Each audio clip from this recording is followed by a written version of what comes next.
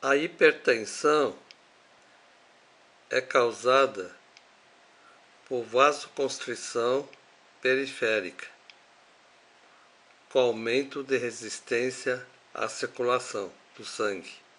Existe uma hiperatividade do sistema nervoso simpático que causa vasoconstrição das arteríolas,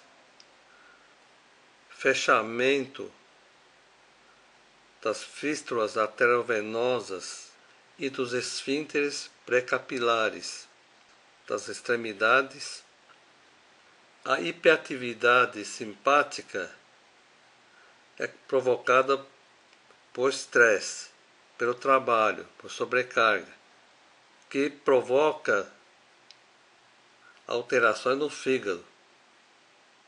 Pessoa fica impaciente, irritada.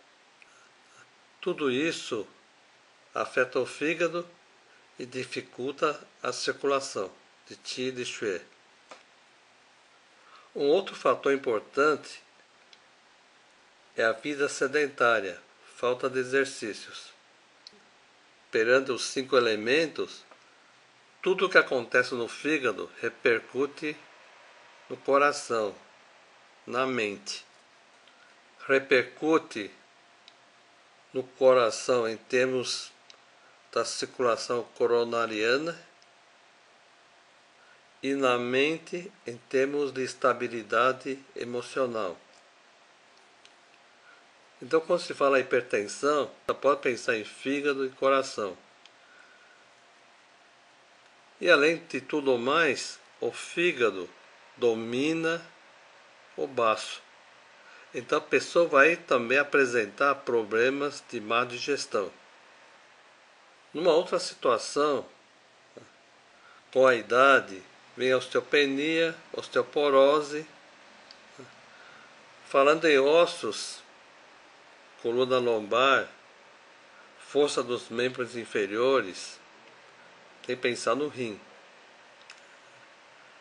E é claro, para que os ossos tenham boa estrutura, os alimentos como magnésio, cálcio, tudo isso é muito importante. Então, o baço pâncreas é importante. A nutrição, a absorção de nutrientes e seu transporte para o pulmão, onde se forma o Ti ou Xê, depende do baço pâncreas. Se o paciente apresenta refluxo, com certeza baço pâncreas, estômago não estão funcionando bem.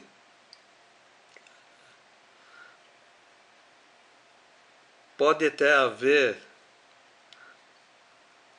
deficiência constitucional, mas em geral é por maus hábitos alimentares, muito líquido nas refeições,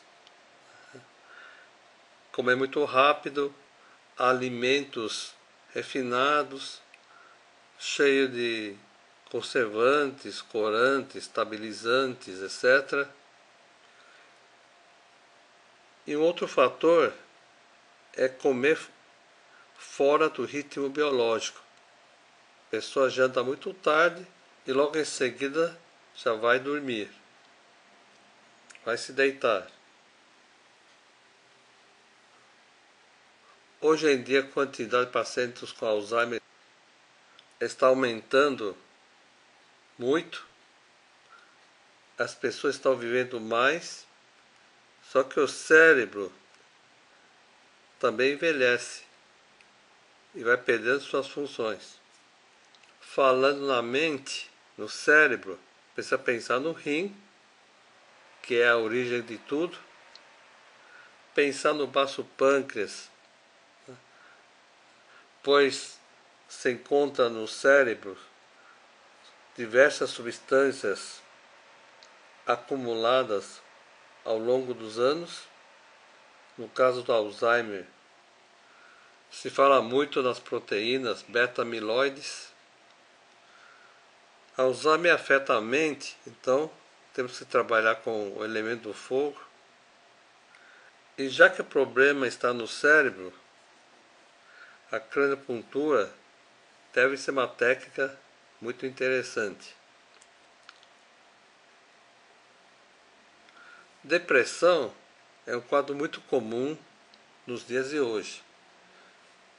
Já que problema mental pensa no coração, mas na verdade todos os cinco elementos têm algum fator emocional que direta ou indiretamente interfere no funcionamento da mente. Seja para lado yang, de raiva, agitação, ódio, ou para o lado yin, depressão, apatia, tristeza, falta de autoestima. Agora vamos falar dos tumores. Pode ser um cisto, que é uma estaquinação, acúmulo ou congestão de quê? De umidade e muco.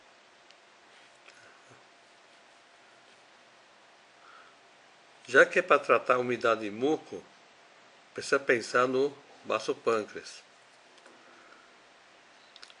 Considerando os casos de tumores benignos ou de miomas, na medicina tradicional chinesa, são locais onde ocorreram acúmulos de umidade e muco. Se houver alguma dor aguda, também está havendo congestão de Xie, provocando as dores mais fortes. No tratamento, a gente precisa fazer circular o Xie, precisa desintoxicar o organismo, isto é, retirar a umidade, eliminar o muco. E para isso, o rim tem que estar funcionando muito bem e o baço, pâncreas também.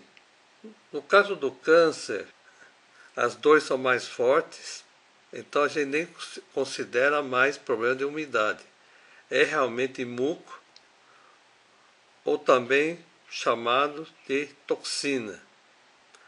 E a dor é forte, com até sangramentos, mudanças de cor, o tumor crescendo, então há uma estaquinação de Xue.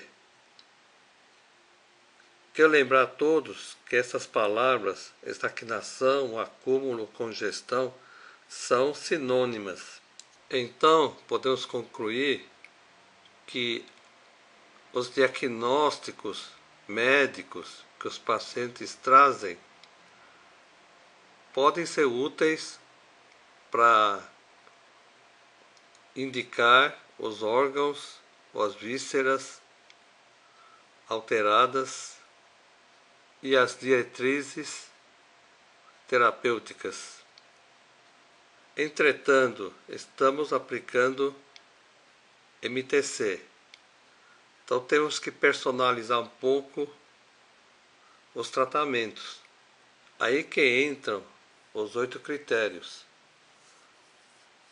Nós precisamos definir se o paciente está num estado de excesso ou plenitude, ou deficiência e vazio. Se estiver muito agitada, impaciente, apresenta excesso. Muito calma, apática, deprimida, deficiência. Se o paciente estiver muito cansado, com esgotamento, falta de ar, situação de deficiência. Pulso forte, excesso. Pulso fraco, deficiência. Nos tratamentos, precisamos saber se o paciente está com mais calor ou mais frio. No caso dos remédios para rim, existem fórmulas para deficiência de yang do rim e fórmulas para deficiência de yin do rim.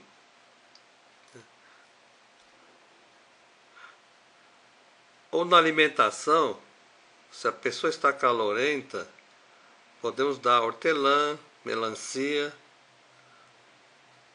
Se o paciente relata frio, então canela, gengibre, cravo. Os tratamentos da MTC são personalizados. Então, pelo menos esta pergunta. Neste momento, você é uma pessoa mais calorenta, ou friorenta, ou normal. Vamos olhar para o rosto da pessoa. Está mais avermelhada? Provavelmente calor. Saburra amarela na língua? calor. Pulso mais rápido, mais 80 por minuto, calor. Menos de 70, frio. Em cima destes dados, podemos personalizar os tratamentos e ter um resultado mais rápido e mais eficiente. Hoje em dia, a globalização já está instalada. Tudo está conectado.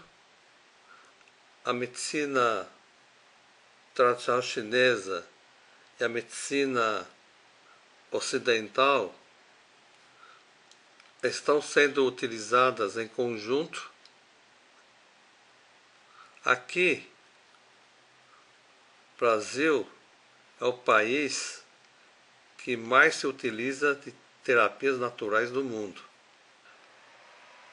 29 práticas integrativas e complementares eh, estão incorporadas oficialmente no SUS, isto a partir de 2006. E o Brasil atualmente é o país que mais se utiliza dos testes neuromusculares, da radiestesia, da acupuntura japonesa, com avaliação dos pontos de alarme. Então não precisamos fixar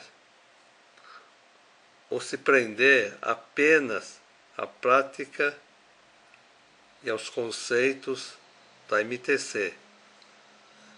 Temos que recorrer aos testes neuromusculares da cinesiologia aplicada de Guthart, do Bidigital Ring Test, do Finger Test, do VU Test que eu inventei. O Brasil atualmente é o país que tem mais radiestesistas do mundo. A maioria ex-aluno do SEAT e uso dos pontos de alarme para diagnóstico, tratamento, monitoração. O SEATA desenvolve um trabalho muito importante neste aspecto desde 2006 já com dezenas de cursos de acupuntura japonesa. Então temos um bom arsenal para ajudar na escolha de pontos de acupuntura, de fórmulas magistrais chinesas ou na aplicação dos trigramas.